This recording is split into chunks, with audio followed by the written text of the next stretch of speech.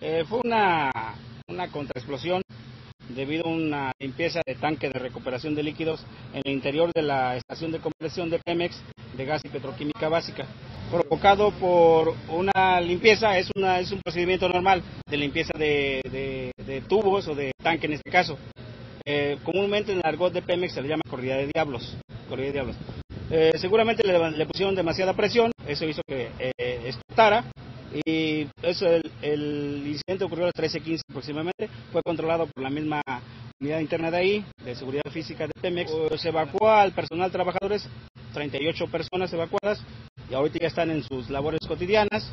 Eh, por protocolo activamos el sistema estatal de presión civil, acudimos nosotros, dos unidades de bomberos, el 63 Batallón de Infantería, eh, la Fuerza Civil y la Dirección Municipal de Presión Civil de Emiliano Zapata, que fue la primera que respondió a este llamado. No, ya está todo totalmente controlado. Como te decía, es un procedimiento normal que se hace, es una corrida de diablos, limpieza de un ducto, un tanque, en este caso fue un tanque de compresión de líquidos.